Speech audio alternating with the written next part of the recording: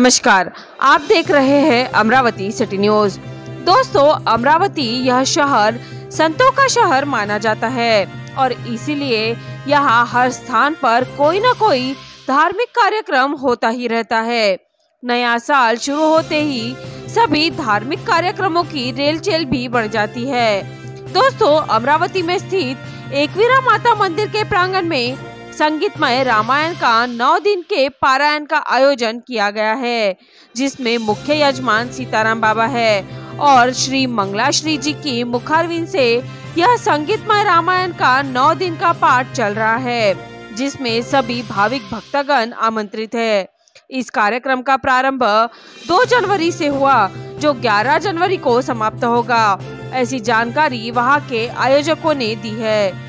चलो तो दोस्तों देखते हैं अमरावती सिटी न्यूज़ के प्रतिनिधि ने ली हुई वहाँ के कुछ आयोजकों की प्रतिक्रिया। आयोजन में बहुत सारी संस्थाएँ जुड़ी है, जैसे कनक महिला मंडल, राजस्थानी मंडल, हितकारी मंडल, माहेश्वरी मंडल, बहुत सारे लोग यहाँ पे रोज आते हैं और देवी जी के मुखारमिन से, सुश्री मंगला श्री जी के मुखारमिन से यह आयोजन करीबन 10-12 साल से हो रहा है अमरावती में और हम लोग, सब लोग इसका आनंद लेते हैं और इस बार भी उन्होंने ये आयोजन करने का कोरोना, खास कोरोना भगाने के लिए हम तो भगवान के, अम्बा देवी के चरणों में प्रार्थना करते हैं कि बस इस बार कोरोना भाग जाए करके।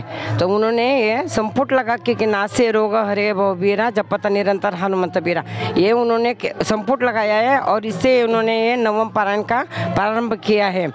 तो हम लोग सब लोग बहुत यहाँ पे आते हैं सवेरे नौ बजे से आते हैं और शाम पाँच बजे तक यहाँ बैठते हैं रामायण जी सुनते हैं और इससे सब प्रसन्नित प्रसन्न पूर्वक ये आयोजन जो रामायण प्रेमी है वो तो मंगला जी जी के रामायण के लिए बहुत राह देखते हैं। साल भर में अगर कब तारीख आएँगी, कब नहीं, और सबसे ज़्यादा बुज़ुर्ग लोग इनके साथ जुड़े हैं। बुज़ुर्ग कहने राह देखते हैं कब देवी जी की रामायण होंगे, अब कब हम सुनने जाएँगे। और उनके रामायण में सही में बहुत ही अच्छे, यानी आवाज़ में, सब में ऐसा है कि सुनने को बैठे लोग 12 बजे से बैठते, शाम के सात बजे तक कोई बोर नहीं होता, कोई उठने की कोशिश भी नहीं करता। यानी सब सोचते हैं, नौ दिन के बाद में लोग बोलते हैं, अगला साल कब आएगा और कब हम आपके मुँह से रामायण सुन सकें। एकवीरा देवी प्रांगण में अम्बा देवी प्रांगण में जो नवायन पारायण हो रहा है, मंगला श्री जी के मुखारविंद से, वो बहुत ही अति सुंदर है। और मैं एक कहना चाहूँगी कि जो भी अभी पारायण चालू है, वो कैसा है देश के कोविड मुक्ति के लिए? कैसा है कोरोना चले जाए? ये सभी अमरावती में बहुत ही धार्मिक प्रोग्राम होते रहते हैं। कभी सुंदरकांड, कभी नवायन पारायण, कभी कथा, कभी भागवत, ये सब कुछ अमरावती इतनी धार्मिक है कि सोच भी नहीं सकते। अमरावती में हर जगह पे धार्मिक कार्यक्रमों का मेला लगे जाता है।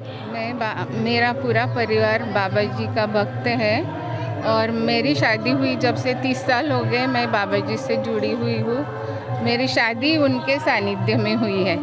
तो ये जो आयोजन है, ये बहुत जब बाबा जी ने शरीर छोड़े, तब से जो आयोजन शुरू हुआ है, इसमें सारे ही परिवार सहभागी है और आगे भी ऐसी ही सेवा देते रहेंगे सब। हमारी सभी की इच्छा यही है कि सब लोग और भी जुड़े इसमें। बस इतना। मेरी इच्छा है बस यही मैं कहना चाहती